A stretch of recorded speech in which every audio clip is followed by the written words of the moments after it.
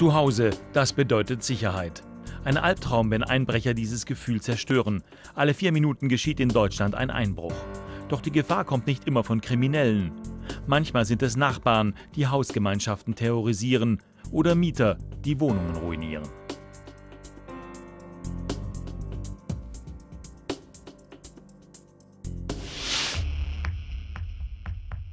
Die Zimmerdecken durchlöchert, die Wände aufgeschlagen, das Badezimmer verwüstet, Toilette und Abfluss mit Schutt verstopft. Diese Wohnung wurde in nur einem Jahr demoliert. Eigentümerin Ute Höderath ist entsetzt. Fängt hier mit der Tür an. Überall die großen Löcher, muss mit einem Hammer gemacht worden sein oder ich weiß es auch nicht, wie man sowas macht. Dann, das ist hier übrigens die Küche, oben die ganze Decke, das Haus in Bergisch Gladbach hat Ute Höderath erst vor zwei Jahren gekauft. Die Immobilie mit drei Wohnungen sollte ihre Altersvorsorge sichern. In dieser Wohnung lebten zwei Schwestern, beide Ende 40. Ihre Miete zahlte das Sozialamt. Dass die Mieterinnen ihre Wohnung mutwillig zerstören, ahnte Ute Höderath nicht. Hier ist das komplette Chaos. Das fängt an hier mit dem Waschbecken. Das ist kaputt. Die Toilette voller Schutt, was sicherlich hier oben von der ganzen Decke ist. Hier ist also wirklich die komplette Decke runtergeholt worden. Bilder wie nach einem Erdbeben. Kaum zu glauben. Aber vor einem Jahr erst wurde die Wohnung im ersten Stock frisch renoviert vermietet. Schon kurz nach ihrem Einzug müssen die beiden Mieterinnen damit begonnen haben, mit einem Besenstiel Löcher in die Decken zu schlagen. Die Nachbarn haben sich immer wieder bei Ute Höderath über Lärm beschwert. Doch niemand wusste, was hier geschah. Ich bin sprachlos, wortlos, weil so habe ich es mir nicht vorgestellt. Und wie gesagt, das sind, das sind Sachen, da bin ich nie mit konfrontiert worden. Und mir schnürt das irgendwie so die Luft weg. Ich kann es Ihnen nicht sagen. Der Zustand ihrer Wohnung ist für die Eigentümerin kaum zu verkraften. Auch ihre anderen Mieter mussten ein Jahr lang etliches ertragen. Die Zerstörungen machten Lärm. Ständig war es laut im Haus. Am meisten litt unter dem Krach eine Familie mit Kindern, die nur ein Stockwerk höher lebte. Tja, hier hat eine Dame gewohnt mit zwei kleinen Kindern. Und das ist die Dame, die ausgezogen ist wegen des Lärms unten und die konnte es nicht mehr aushalten. Die Wohnung ist groß und hell. Eigentlich sind solche Objekte gesucht. Doch sie steht leer. Durch den ständigen Lärm im Haus konnte Ute Höderath sie nicht neu vermieten. Ein halbes Jahr wohnte die Familie hier. Dann flüchtete sie vor den beiden Schwestern, die ein Stockwerk tiefer wüteten. Helga Pisarski ist eine Nachbarin. Sie hat erlebt, was sich hier abgespielt hat. Ständig war Klopfen, Hämmern und Schlagen zu hören, erzählt sie. Der Terror jede Nacht, die Kinder konnten nicht mehr schlafen. Die haben also bis nachts zwei, halb drei haben die richtig Krach gemacht. Dann morgens ab sechs Uhr ging es dann wieder weiter. Die Kinder konnten kaum noch schlafen, die mussten ja zur Schule. Doch Lärm war nicht das einzige Problem. Helga Pisarski sagt, die Schwestern seien aggressiv gewesen. Grundlos hätten sie die Hausbewohner beleidigt, sogar die Kinder. Wenn die hier vorbeigingen, dann ähm, hat die also die Kleinen auch aufs Übelste beschimpft und bespuckt. Ne?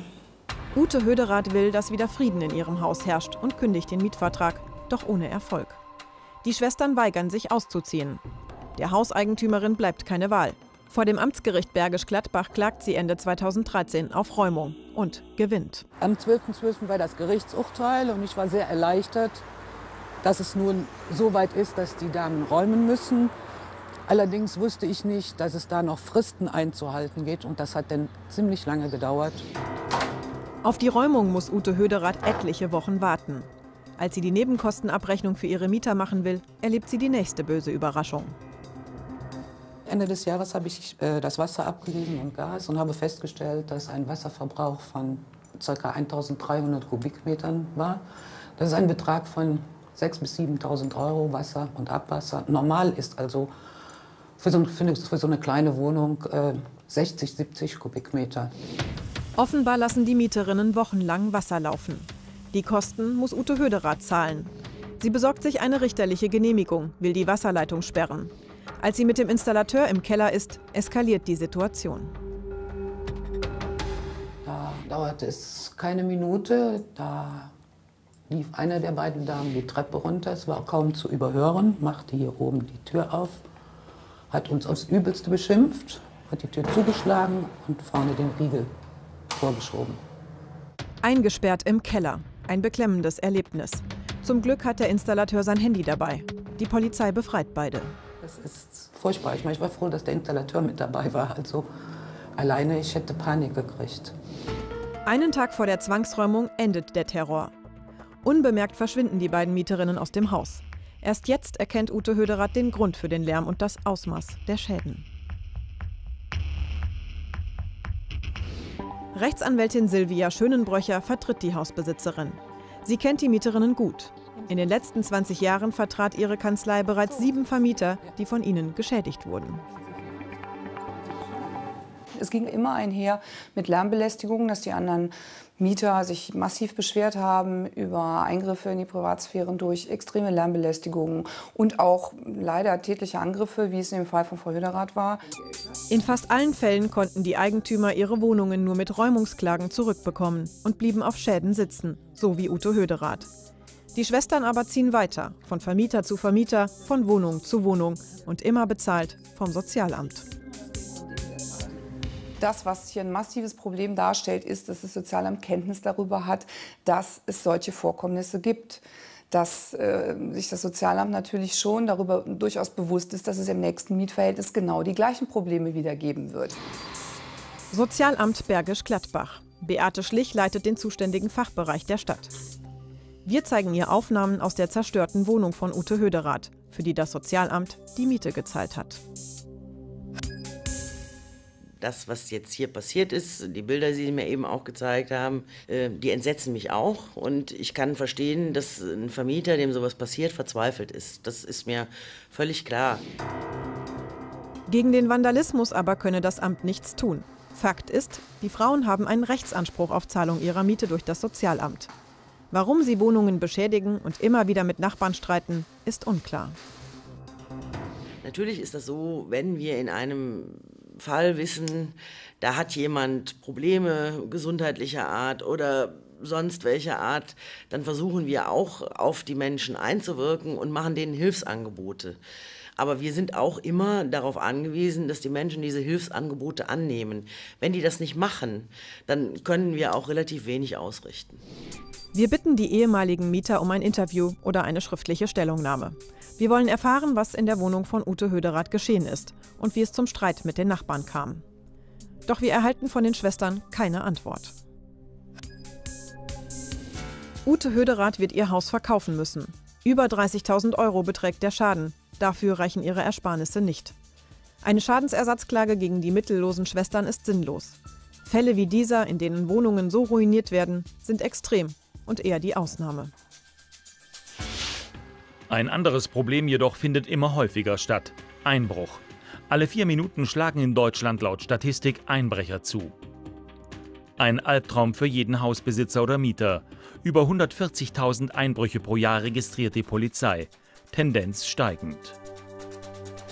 Die Kommissare Sprotte und Mülders auf dem Weg zum Tatort. Ein Einfamilienhaus in Viersen. Ja, es ist ein Einbruch gemeldet worden, vermutlich in der Zeit zwischen 14 und 17 Uhr. Eine alleinstehende Frau. Und müssen wir jetzt erstmal gucken, was an Spuren da ist, was wir hier aufnehmen können. Die 74-jährige Irmgard S. kam gerade vom Einkaufen. Da hörte sie ein Poltern in ihrem Wohnzimmer. Was ist denn passiert? Jetzt sind die wohl reingekommen. Die Tür, die war offen, ja. als ich nach Hause kam. Durch die Terrassentür kamen die Einbrecher ins Haus. Und so sind sie auch wieder geflüchtet. Dann bin ich nach oben gerannt und da sah ich dann, dass die oben Kleiderschränke alles aufgerissen haben. Auf der Suche nach Geld und Schmuck haben die Täter das gesamte Schlafzimmer durchwühlt. Profis wissen, wo sie suchen müssen, erklärt Kommissar Sprotte. Das erleben wir häufig an Tatorten, dass im Wesentlichen das Schlafzimmer betroffen ist, weil eben halt hier häufig äh, der Schmuck und auch Geld aufbewahrt wird. So war es auch hier.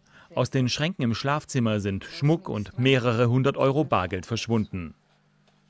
Kommissar Mülders sucht im Garten nach Spuren der Täter. Die Einbrecher sind hier auf das Grundstück gekommen. Ungestört konnten sie die Terrassentür aufhebeln.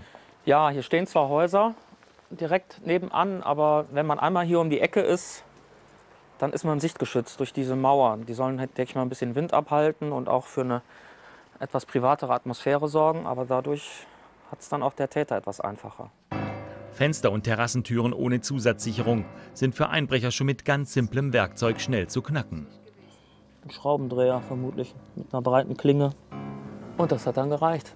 Hier sind ja auch keine Haken und nichts. Kommissar Mülders untersucht die Fensterscheibe auf Fingerabdrücke der Einbrecher. Ein Rußpulver soll sie sichtbar machen. In der Nähe des Türgriffs wird er fündig. Das sind nur Wischspuren. Die Täter waren Profis. Sie haben Handschuhe getragen. Irgendwelche verwertbaren Spuren hier? Nee, leider nicht. Irmgard S. wusste schon, dass die Zahl der Wohnungseinbrüche steigt. Aber dass es bei mir passiert, da denke ich ja nicht dran. Ne? Noch weiß sie nicht, was ihr alles fehlt. Ihre Hausratversicherung wird sie den Schaden belegen müssen. Für Bestohlene oft ein Problem. Ich rate denen, die Schmuckgegenstände einzeln zu fotografieren, vielleicht auch aus verschiedenen Winkeln und ähm, sich eine Auflistung zu machen über den Schmuck, den man hat, mit Besonderheiten, zum Beispiel Gravuren.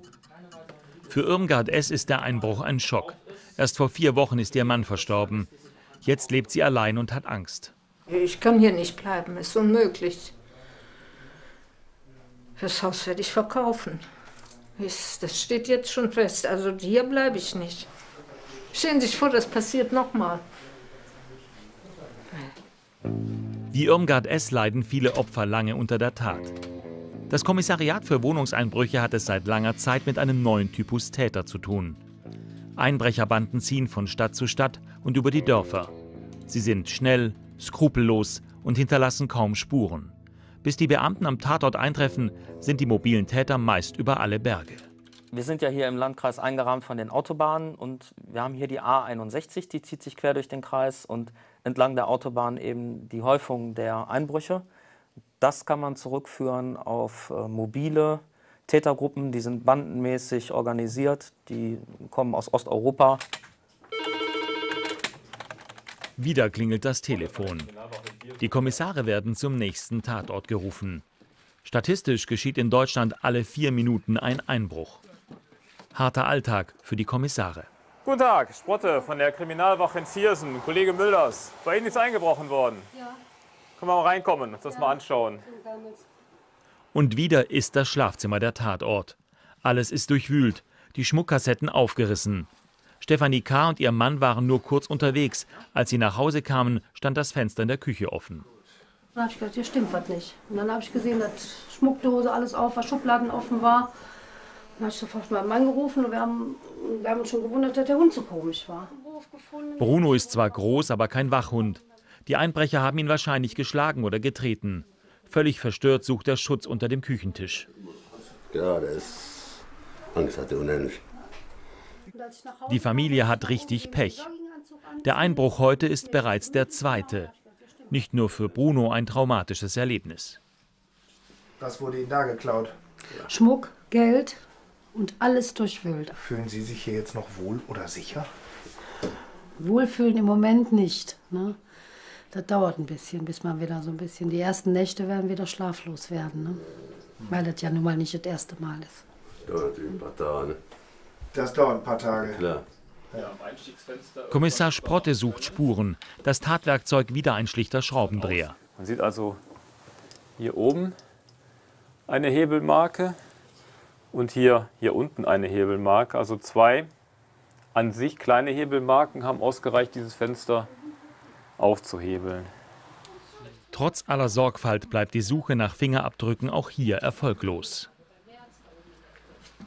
Ist halt so, dass viele Täter, eigentlich die meisten Täter mittlerweile mit Handschuhen arbeiten, dementsprechend keine Fingerabdrücke mehr am Tatort hinterlassen. Stefanie und Hans-Peter K. sind einer von 700 Einbruchsfällen, die sich in Viersen jährlich ereignen. Die Täter sind schnell und erfolgreich. Dass sie auf frischer Tat ertappt werden, kommt äußerst selten vor. Ob auch bei ihr Schmuck gestohlen wurde, kann Stefanie K. noch nicht sagen. Ich kann noch nichts feststellen. Ich kann wirklich, also ich sag jetzt eher mal nein. Ich denke mal, wir haben die gestört. Profis hinterlassen selten verwertbare Spuren. Dennoch wird der Tatort präzise unter die Lupe genommen. Manchmal finden sich dabei Hinweise. Kommissar Sprotte entdeckt etwas auf dem Boden. Mit einer Gelfolie sichert der Beamte den Abdruck. Das Schuhprofil ist gut zu erkennen. Das wird jetzt zur kriminaltechnischen Untersuchungsstelle nach Mönchengladbach versandt, die eine Schuhspurensammlung unterhalten. Und da wird dann dieser Schuhabdruck abgeglichen. Oft kommen Diebe sehr einfach in Wohnungen und Häuser. Um es ihnen schwerer zu machen, rät Mülders, sich rechtzeitig, und zwar vor einem Einbruch, darum zu kümmern, dass die Häuser entsprechend gesichert sind. Denn äh, nach einem Einbruch ist nicht nur der Schmuck weg, sondern wie man ganz deutlich in den Fällen gesehen hat, das Sicherheitsgefühl. Also wie wohl fühle ich mich zu Hause, das leidet unheimlich. Um sich vor Einbrechern zu schützen, sollten vor allem Türen und Fenster zusätzlich gesichert sein. Die nötige Technik bekommt man zum Beispiel bei Schlüsseldiensten. Doch hier ist Vorsicht geboten, denn einige Anbieter verlangen für ihre Dienstleistungen weit überhöhte Preise. Frechen bei Köln. Hedwig Maxrath steht vor ihrer Haustür, doch sie lässt sich nicht öffnen. Die Hausbesitzerin hat den richtigen Schlüssel, aber der Schließzylinder lässt sich nicht drehen. Durch eine offene Terrassentür gelangt sie ins Haus. Ja, die Tür ließ sich nicht öffnen und für allein. Ich denke, mein Mann, der ist auch nur kurz weg. Der schließt doch nicht ab, wenn er geht und, und ich bin zu Hause. Und haben Schlüssel geholt, ging aber auch nicht. Ging zwar rein, aber ließ sich nicht drehen. Hedwig Marxrath braucht einen Fachmann. In den gelben Seiten sucht sie nach einem Schlüsseldienst in der Nähe. Aus den vielen Firmeneinträgen entscheidet sie sich für ein Unternehmen aus ihrem Wohnort. Angegeben ist eine Nummer ohne Vorwahl. Es meldet sich eine freundliche Stimme. Und die sagten, ja, wir sind direkt in der Nähe, in einer halben bis dreiviertel Stunde sind wir da. Das war korrekt, die waren da, kamen zu zweit, hielt mir dann als erstes einen äh, Zettel hin, den ich unterschreiben musste. Hedwig Maxrath zeigt uns diesen Zettel. Bevor die Monteure mit der Arbeit beginnen, muss sie einen sogenannten Grundpreis von 159 Euro akzeptieren. Sie fragten ja, ob es dabei bliebe. Und da hat er gesagt, nee, das könnte er nicht garantieren. Das hat er von vornherein gesagt, also er hat sich nicht festgelegt. Die Monteure arbeiten wenige Minuten. Sie bauen das Schloss aus und ersetzen es durch ein neues. Dadurch verdreifacht sich der Preis. Am Ende stehen 460 Euro auf der Rechnung. Zahlbar sofort. Haben Sie sich denn äh, unter Druck gefühlt? Ja, natürlich. Also die waren zu zweit und ich war völlig allein. Nicht? Und wie gesagt, ich bin ja nicht mehr die Jüngste und da wusste ich auch nicht, was ich machen soll. Wir nehmen die Rechnung mit, wollen das Unternehmen fragen, wie dieser hohe Preis zustande kommt. Westdeutsche Schlüsselnotdienst GmbH lautet der Name der Firma auf der Rechnung. Als Firmensitz ist eine Adresse im Kölner Norden angegeben. Wir finden das Haus in einem Wohngebiet, doch hier gibt es weder ein Schild noch einen Briefkasten, der auf einen Schlüsseldienst hinweist. Auf der Rechnung ist eine Telefonnummer angegeben. Wir versuchen es mehrfach auf diesem Weg, doch es meldet sich immer nur die Mailbox. Bitte sprechen Sie nach dem Ton. Das Unternehmen ist für uns leider nicht erreichbar. Wir ziehen einen Experten zu Rate, Siegfried Mantik, Gutachter für Metallbau der Handwerkskammer Köln. Er soll die Rechnung von Hedwig Maxrath beurteilen. Der Sachverständige findet klare Worte. Der erste Kostenpunkt, die Türöffnungspauschale mit 159 Euro viel zu hoch. Die Lohnkosten äh, mit 29,90 Euro die Viertelstunde. Äh, das muss man sich mal hochrechnen, da sind wir bei über 120 Euro Stundensatz. Äh, den hätte jeder Handwerker gerne. Dann ist das Roram-Schloss mit 109 Euro, dürfte maximal 30 kosten. So absolut überzogen mit einem Preis von 460 Euro, viel zu teuer. Äh, hätte ein örtlicher Schlüsseldienst in der gleichen Zeit gemacht, äh, vielleicht für zwischen 120 und 160 Euro. Mindestens 300 Euro hat die Hausbesitzerin nach Meinung des Gutachters zu viel gezahlt. Für Mantik kein Einzelfall.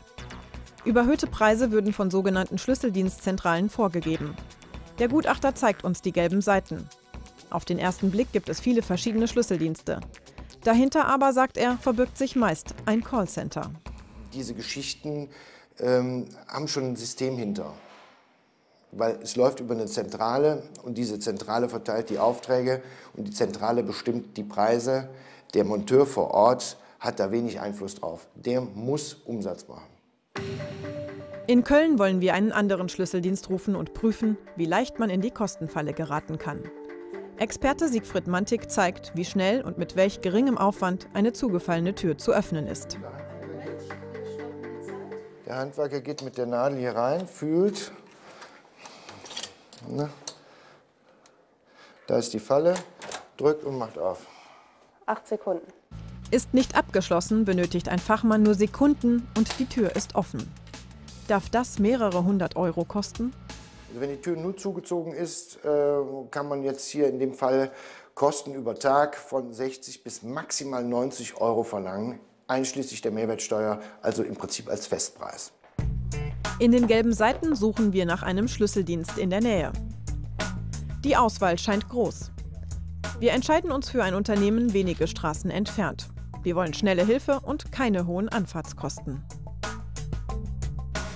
Also Sie sagen, direkt kommt er los. Also Sie sind ja ähm, hier um die Ecke, ähm, Hohe Straße, ist das richtig? Ja.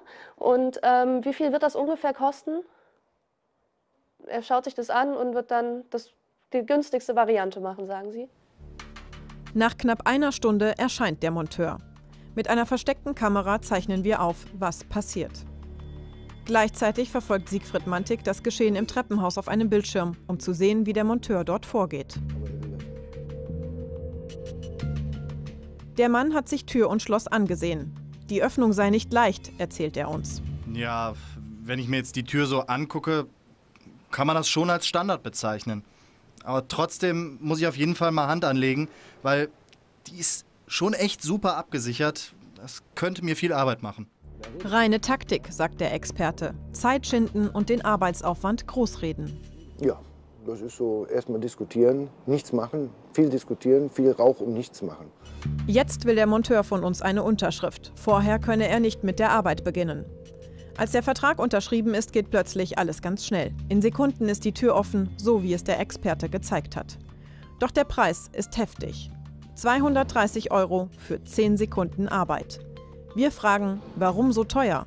Die Antworten sind ausweichend. So, und dann wird der Monteur nochmal separat bezahlt, weil es ein 24-Stunden-Service ist. So, und dann nochmal die reine Dienstleistung wird quasi bezahlt für die ersten 15 Minuten. Und so kommen sie im Endeffekt nach der Richtlinienpreisrichtung im Bundesverband Deutscher Schlüsseldienste auf die 159 Endpreis. Plus Anfahrtskosten und Mehrwertsteuer. Wir geben uns zu erkennen. Den Preis des Verbandes der Schlüsseldienste lässt Mantik nicht gelten. Hinter dem Verband stünden die gleichen Personen wie hinter der Schlüsseldienstzentrale. Also das ist aufgeblasen von diesem Verband in Anführungsstrichen, äh, der da die Preise nennt. Äh, er ist ja, sage ich mal, auch nicht ein Angestellter dieser Firma. Er ist ja auch nur im Prinzip ein Subunternehmer, der Aufträge kriegt von dieser Zentrale. Zu einem Interview über die Methoden der Schlüsseldienstzentrale ist der Monteur nicht bereit. Später sagt er uns, dass er als selbstständiger Unternehmer alleine kaum genügend Aufträge bekomme und auf die Zusammenarbeit mit der Zentrale angewiesen sei. So funktioniere das Geschäftsmodell, sagt der Gutachter. Die bundesweit agierenden Zentralen kassieren ab und die Kunden zahlen weit überhöhte Preise. Diese Zentralen haben einen Umsatz von 18 Millionen Euro. Wenn der Monteur dann, wie hier in diesem Falle, äh, 230 Euro äh, umsetzt, bekommt er davon vielleicht zwischen 10 und 30 Prozent. Und den Rest stecken die Zentralen sich in die Tasche. Gegen dieses System ermittelt bereits die Staatsanwaltschaft Kleve. In Mörs treffen wir Oberstaatsanwalt Günther Neifer. Insgesamt belaufe sich der geschätzte Schaden auf mehrere hunderttausend Euro. Bislang liegen uns ca. 300 Fälle, also 300 Strafanzeigen vor, die wir bearbeiten, die aus dem gesamten Bundesgebiet, wie gesagt, bei uns aufgelaufen sind. Den Beschuldigten wird insbesondere der Vorwurf gemacht, einen gewerbsmäßigen Bannenbetrug begangen zu haben. Sie sollen, so unsere bisherigen Ermittlungen im Rahmen von Türöffnungen, von Schlüsseldienstleistungen betrügerisch vorgegangen sein. Und die Masche ist nicht neu. Im Visier der Ermittlungen steht ein 53-jähriger Mann, der schon einmal rechtskräftig wegen Betrugs verurteilt wurde. Einer dieser beiden Beschuldigten ist bereits einschlägig mal in Erscheinung getreten. Er ist wegen gleichartiger Delikte vom Landgericht Kleve zu einer mehrjährigen Freiheitsstrafe verurteilt worden, die er äh, zum überwiegenden Teil auch verbüßen musste. Das Geschäft mit Türöffnungen scheint sich zu lohnen. Die Zahl der Kunden ist riesig. Täglich stehen Menschen ohne Schlüssel vor ihren Türen. Wer Hilfe braucht, sucht meist im Branchenbuch. Hier arbeiten die Schlüsselzentralen mit einem Trick. Was aussieht wie Einträge vieler Firmen, ist eine Werbeanzeige, geschaltet von einem Unternehmen. Wir testen, ob Leser das erkennen. Wenn Sie sich diese Seite hier anschauen, ähm, was sehen Sie da? Können Sie das ein bisschen beschreiben? Verschiedene Telefonnummern von verschiedenen Schlüsseldienstanbietern. Also wenn Sie jetzt hier reingucken würden, sieht das für Sie aus? Als wären das alles unterschiedliche äh, Unternehmen. Und wenn ich Ihnen jetzt sage, dass das alles ein Unternehmen ist, es ist eine Werbeanzeige, diese ganzen Nummern, die Sie auf der Vorderseite sehen, die laufen alle auf eine Rufnummer. Was sagen Sie da? Ja, ist schon erstaunlich. Da scheint sich ja äh, irgendwie ein Geschäftsmodell dahinter zu verbergen. Mhm. Würden Sie hier anrufen, wenn, der, wenn die Tür zugefallen wäre? Erfahrungsgemäß nein. also uns ist es einmal passiert und es hat dann 300 Euro gekostet für zweieinhalb Sekunden Arbeit. Dementsprechend würde ich es nicht mehr machen. Und wirkt es auf Sie wie Werbung im ersten Eindruck? Ja, aber für viele verschiedene, muss ich sagen. Also ich hätte jetzt nicht gedacht, dass alles über einen läuft. Wir wollen wissen, wer steckt hinter dem Geschäft mit teuren Türöffnungen. Der Monteur in unserem Test nannte den Verband Deutscher Schlüsseldienste. Wir finden den Verband im Internet und eine Adresse in Düsseldorf. Steht dieser Verband in Zusammenhang mit den Schlüsseldienstzentralen? Wir recherchieren weiter, finden die Internetseite der Deutschen Schlüsseldienstzentrale. Und tatsächlich, im Impressum wird die gleiche Adresse genannt, die auch der Verband als Sitz angibt. Wir fahren nach Düsseldorf. Vor Ort finden wir an der angegebenen Adresse ein kleines Ladenlokal. Das Geschäft wirkt verlassen, die Innenausstattung veraltet. Es ist niemand zu sehen. Auch die Tür ist verschlossen. Auf einem Schild eine Telefonnummer. Unter dieser könne man einen Termin vereinbaren. Die Leitung ist frei, doch es klingelt durch. Trotz mehrmaliger Versuche erreichen wir niemanden. Verbraucherzentrale Nordrhein-Westfalen. Corinna Reisewitz berät häufig Menschen, die überhöhte Preise für Türöffnungen zahlen mussten. Geld zurückzukriegen sei schwierig, sagt sie. Und dann muss man wirklich klagen und vor Gericht muss man dann beweisen, dass der Preis überhöht ist, dass das Bucher ist. Und das ist eine sehr schwierige Angelegenheit und vor allem eine teure Angelegenheit, weil man da einen Sachverständigen dazu holen muss. Im Notfall ist kaum Zeit, seriöse von unseriösen Schlüsseldiensten zu unterscheiden. Deshalb rät die Verbraucherschützerin, sich darauf vorzubereiten, denn irgendwann passiert es jedem. Tür zu, Schlüssel drinnen. Also mein ganz persönlicher Tipp ist einfach, dass man den Schlüssel beim Nachbarn deponiert, um da überhaupt nicht in die Gefahr zu kommen, einen Schlüsseldienst rufen zu müssen oder dass man sich weit im Voraus, bevor die Tür zufällt, sich einen Schlüsseldienst raussucht, bei dem man wirklich weiß, was für Preise der nimmt und wo der Schlüsseldienst seine, seinen Sitz hat. Nicht alle Schlüsseldienste nehmen überhöhte Preise. Seriöse Unternehmen öffnen Türen zu fairen Preisen und beraten sachgerecht zum Thema Sicherheit und Schutz vor Einbrechern.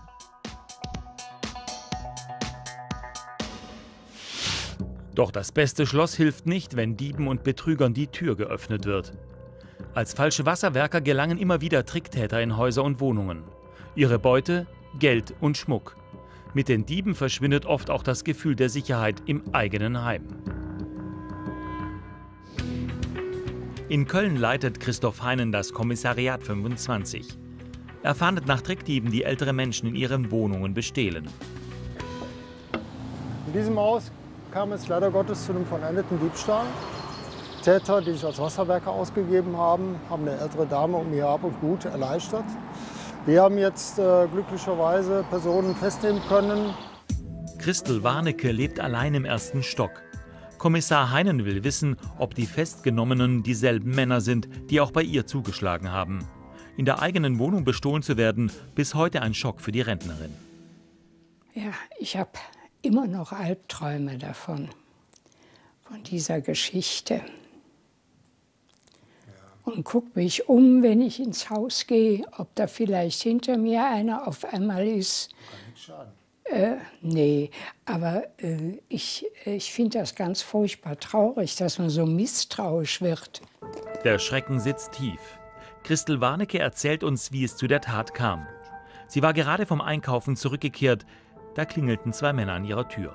Ich habe hier oben durch den Spion geguckt und äh, dann zeigten die mir einen Ausweis, Installation, irgendwas. Und dann habe ich die Tür aufgemacht und dann war es schon zu spät. Die vermeintlichen Installateure behaupten, es gäbe Probleme mit den Wasserleitungen. Sie müssten deshalb alle Anschlüsse überprüfen. Aus Angst vor einem Wasserschaden lässt Christel Warnecke die fremden Männer in ihre Wohnung. Der eine hat mich sofort am Arm gepackt. Wo haben Sie hier das Wasser? Und dann hat er mich in die Küche gezogen und äh, dann hat er unter dem Waschtisch nachgeguckt und da rumgefummelt. Und dann sagte er auf einmal, gucken Sie mal, ist alles nass, alles nass. und zeigte mir seinen nassen Handschuh. Ein Trick, um die Rentnerin in der Küche festzuhalten, während der zweite Mann bereits im Schlafzimmer nach ihrem Schmuck sucht. Christel Warnecke merkt, dass etwas nicht stimmt. Wehren kann sie sich gegen die beiden kräftigen Männer aber nicht. Ich habe immer gerufen, da ist kein Wasser und kein Wasseranschluss, aber der hörte natürlich nicht. Und äh, ich habe nicht gewusst, was soll ich machen. Ich hatte auf einmal furchtbare Angst. Nach wenigen Minuten verschwinden die beiden Männer so schnell, wie sie gekommen sind. Nachdem sie ihre Wohnung verlassen haben, geht Christel Warnecke sofort ins Schlafzimmer. Dort bewahrt sie Schmuck und Wertsachen in einem Kasten auf. Als sie das Zimmer betritt, erlebt sie eine böse Überraschung. Und habe gedacht, ich sehe nicht recht. Der Kasten ist weg. Wieso ist der Kasten weg? Die hellere Holzfläche zeigt, wo ihr Schmuckkasten viele Jahre gestanden hat. Die Täter haben ihn mitsamt des wertvollen Inhalts mitgehen lassen. Also ich kann wohl sagen, das ist Schmuck im Wert von mindestens 20.000 Euro.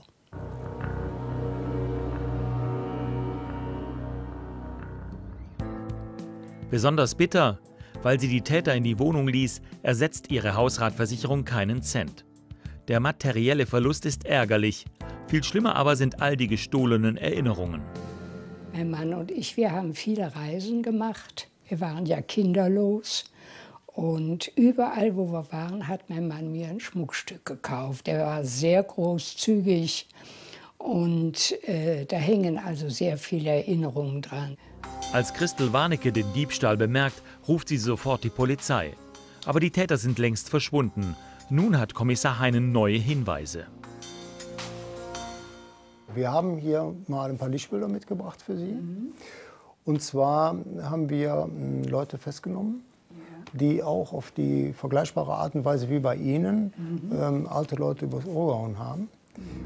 Der Kommissar zeigt Fotos von Männern, die als falsche Wasserwerker bereits erwischt worden sind. Christel Warnecke soll versuchen, die Täter, die ihren Schmuck gestohlen haben, genau zu erkennen. Doch das ist schwer. Leider Gottes war keiner dabei. Nein, also ich äh, habe keinen wiedererkannt. Und ich kann ja nicht sagen, der ist es, wenn ich nicht sicher bin. Christel Warnecke kann keinen der Täter genau identifizieren. Für Kommissar Heinen keine Überraschung. Er weiß, warum nur selten jemand erkannt wird.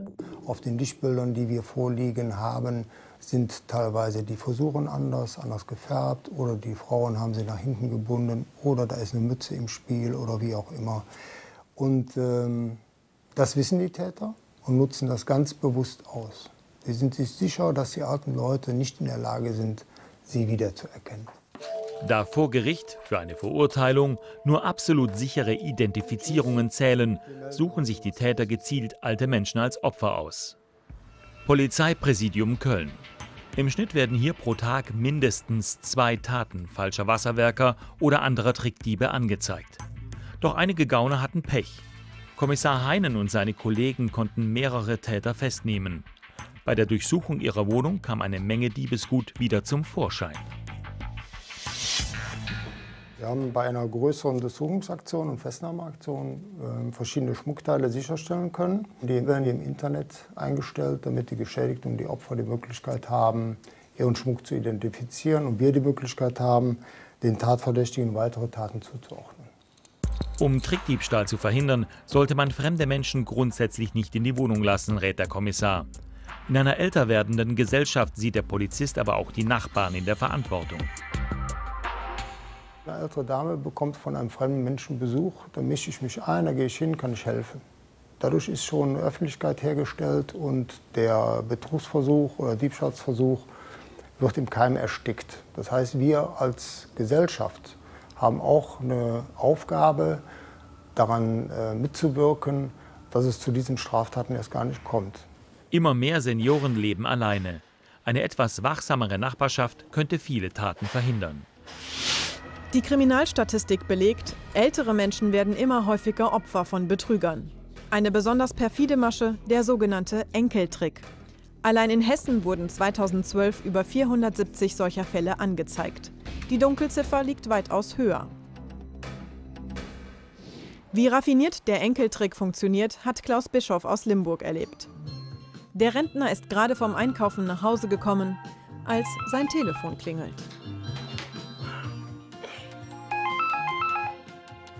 Bischof? Am Telefon eine Frau. Sie nennt keinen Namen, fragt stattdessen. Ja, hallo. Weißt du denn, wer dran ist? Nee, wir, ne, keine. Weiß ich jetzt nicht. Wer ist denn das bitte? Wer spricht Rat denn doch da? mal. Das muss ich mal überlegen. Erkennst du meine Stimme nicht? Ev eventuell Annemie? Ja, genau. Ich bin's, die Ah, Anne. grüß dich, Annemie. Hallo. Du, sag mal, ich habe ein Problem. Könntest du mir da vielleicht helfen? Annemie ist eine Freundin der Familie. Die Fremde gibt sich als diese aus. Sie behauptet, sie sei bei einem Notar, wolle eine Wohnung kaufen. Leider sei eine Überweisung schiefgegangen. Sie bittet Klaus Bischof zu helfen mit 26.000 Euro. Und ich habe dann gesagt, ja, also im Moment ist das ein bisschen schwierig, nicht? Ich habe mein Geld auf Tagesgeldkonten gebunkert, muss dann erstmal auf mein Referenzkonto überweisen. Da sagte sie dann, naja, versuch doch mal mit einer Blitzüberweisung das auf dein Konto zu überweisen. Und habe ich gesagt, ja, okay, mache ich, versuche ich.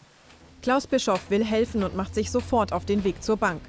Dass er der Anruferin den Namen Annemie selbst genannt hat, fällt ihm nicht auf. Er hebt 26.000 Euro von verschiedenen Konten ab und kehrt sofort wieder heim. Kaum zu Hause klingelt das Telefon wieder. Offenbar wurde er beobachtet. Die Betrügerin weiß, dass er wieder da ist. Zur Betrugsmasche gehört, den Opfern keine Zeit zum Nachdenken zu lassen. Hast du das Geld bekommen? Warst du bei der Ich war Bank? bei der Bank, ich habe das Geld hier in der Hand. Ja, super. Klasse, vielen Dank. Hast du alles bekommen? 26.000? Ich habe alles gekriegt, ja. Schön. Ich danke dir, das ist ganz lieb von dir. Du, pass auf, ich habe noch ein Problem. Ich sitze jetzt hier noch beim Notar. Die Betrügerin erklärt, dass sie leider nicht persönlich das Geld holen könne. sondern der Notar hat sich bereit erklärt, seine Sekretärin zu schicken, um das Geld abzuholen. War für mich eigentlich der erste Hinweis, wo ich hätte misstrauisch werden müssen. Aber äh, die ganze Sache ist für mich so eine Art, interessanterweise, so eine Art Gehirnwäsche gewesen. Man hat mich auf Sicherheit gewiegt. Sie hat gemerkt, dass wir hilfsbereite Menschen sind. Sie hat gemerkt, da ist Geld zu holen sodass ich also äh, da noch keinen Verdacht geschöpft habe. Die Geldübergabe ist für die Betrüger der gefährlichste Moment. Schon häufiger sind Abholer dabei festgenommen worden. Deshalb haben die Täter sich noch einen Trick ausgedacht. Noch während Klaus Bischof auf die vermeintliche Notariatsmitarbeiterin wartet, erreicht ihn ein merkwürdiger Anruf. Bischof. Hallo. Ja, die Kriminalpolizei Limburg am Apparat. Und der Mann, der da am Telefon war, sagte, er wollte gern seinen Kollegen sprechen. Ich sage, hier ist, hier ist keine Kriminalpolizei. Ja doch, aber wir haben doch, wir haben doch hier jemanden zu Ihnen geschickt. Das ging dann so ein bisschen hin und her. Ich wurde dann ungeduldig, sagte dann, junger Mann, glaube ich, Sie können versichert sein, hier ist niemand von der Kriminalpolizei. Mit diesem Anruf haben sich die Täter davon überzeugt, dass Klaus Bischof nicht die Polizei informiert hat. Da die Abholerin angeblich seine Wohnung nicht findet, soll er jetzt runter auf die Straße kommen. Vor dem Haus trifft er eine Frau. Dann habe ich noch gesagt, äh, ja, äh, wollen Sie das Geld nicht nachzählen? Nein, nein, nein, nein, das ist alles ganz, ganz dringend. Und dann habe ich ihr das Geld übergeben. Wie viel Geld haben Sie ihr gegeben? 26.000 Euro. Die Frau verschwindet schnell und erst jetzt kommen dem Rentner Zweifel.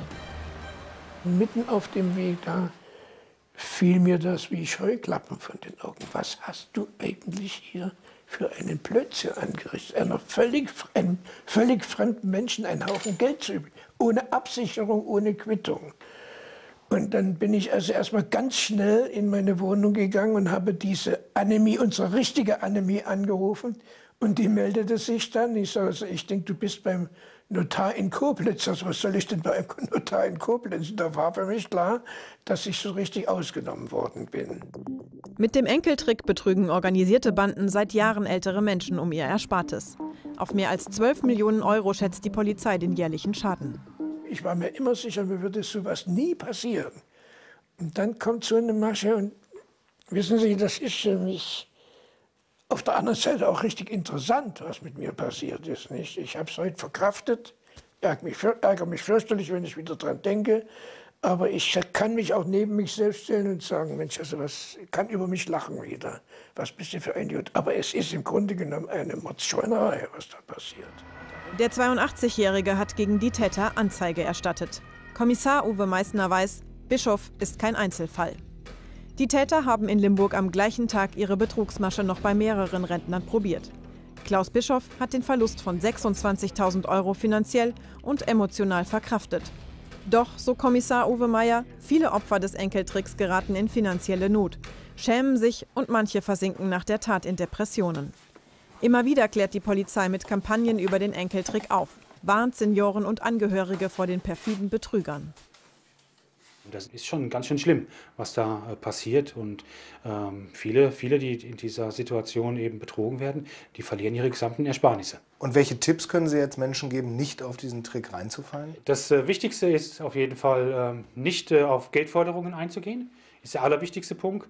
Äh, dann natürlich äh, zurückrufen, selber Telefonnummer raussuchen und versuchen, den Verwandten, bekannten Enkel eben auch zu erreichen und im Zweifelsfall die Polizei anrufen. Und im Fall Bischof ist das Kind jetzt in den Brunnen gefallen oder wie? Also das Geld ist weg. Da werden wir die Täter nicht mehr wiederbekommen und auch der Herr Bischof wird das Geld mit hoher Wahrscheinlichkeit nicht mehr wiedersehen. Mehr als 1000 Senioren wurden 2012 Opfer des Enkeltricks. Die Täter sind in den meisten Fällen nicht ermittelt worden. In Köln hat Kommissar Heinen Trickdiebe festnehmen können. Als falsche Wasserwerker haben sie Senioren in ihren Wohnungen bestohlen. Kommissar Heinen hat Fotos der Beute ins Internet gestellt. Eine ältere Dame erkannte ihren Schmuck.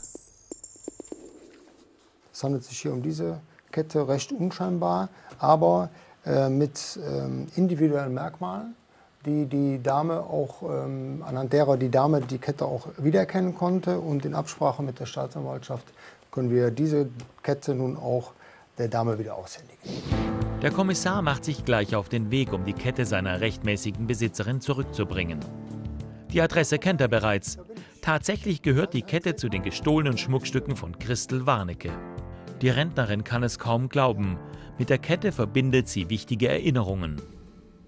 So, die Staatsanwaltschaft ist damit einverstanden, dass sie ihre Kette wiederbekommen. Und das freut uns natürlich ungemein. Das ist schön. Damit wir zumindest einen kleinen Teil Wiedergutmachung leisten können. Also einen kleinen Teil diese Meine Kette, schöne die Spinellkette mit der Tahiti-Perle. Genau, wiedererkannt haben. Ja, schön. Die dürfen Dankeschön jetzt wieder ihr eigen an alle, die sich da bemüht haben für mich. Dankeschön. Schmuck im Wert von über 20.000 Euro haben die Trickdiebe hier gestohlen. Die Kette war das einzige Schmuckstück, das die Täter noch nicht zu Geld gemacht hatten, als sie verhaftet wurden. Wir haben einen Teil des Schmuckes wiederbringen können, der Dame aushändigen. Schönes Gefühl, leider ein Einzelfall. Im Großteil der Fälle ist der Schmuck weg, der Schaden ist da. Und um das zu verhindern, der Appell von mir an uns alle, erstens ein bisschen aufpassen auf die Mitmenschen, Leute ansprechen, wenn uns was komisch vorkommt. Und an die älteren Herrschaften trauen Sie sich, die 110 zu rufen, wenn Sie irgendwas Verdächtiges bemerken. Sprechen Sie die Nachbarn an, Halten Sie die Tür zu, lassen Sie keinen rein ins Haus, damit sowas wie bei der Frau Warnecke nicht häufiger passiert. Wenn das Zuhause zum Tatort wird, bleibt das Gefühl der Sicherheit auf der Strecke. Beratungsstellen der Polizei informieren, wie man sich vor Einbrechern und Abzockern schützen kann.